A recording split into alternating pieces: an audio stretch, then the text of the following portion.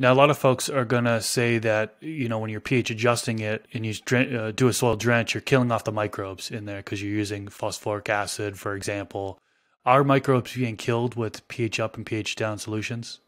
You know, I, I hear this a lot.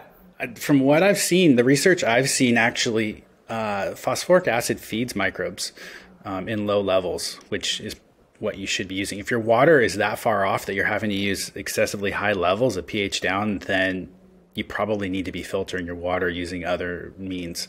Um, one thing I will say if you're using phosphoric acid, your P availability goes through the roof, which means you're probably, if you're leaching your soil, as in getting runoff, you're probably adding phosphates to our water supply, which is not a great thing. Um, we're already at peak phosphorus.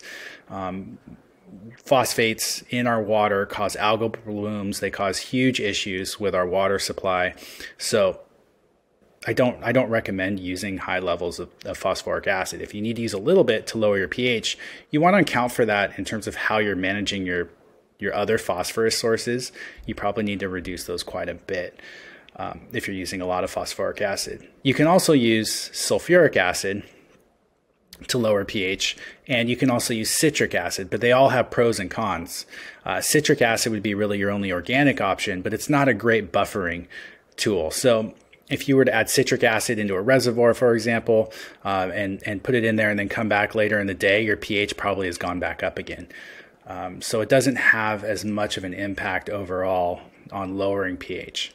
So just something to keep in mind. Oh, and just this morning, uh, I saw some more lab tests. I've seen two lab tests now on pH down products that were causing people to fail in um, certain states uh, for heavy metals, specifically uh, arsenic in this case. So, uh, if you are a commercial cultivator, um, check your pH down as another source of, of heavy metal contamination. And we're talking like big time brands in the industry. Um, these are not like they're using small uncommon. If I if I were to say the brand, you'd be like, oh my gosh, that's a huge multi-million dollar company that's been around forever kind of thing. So probably your, GH.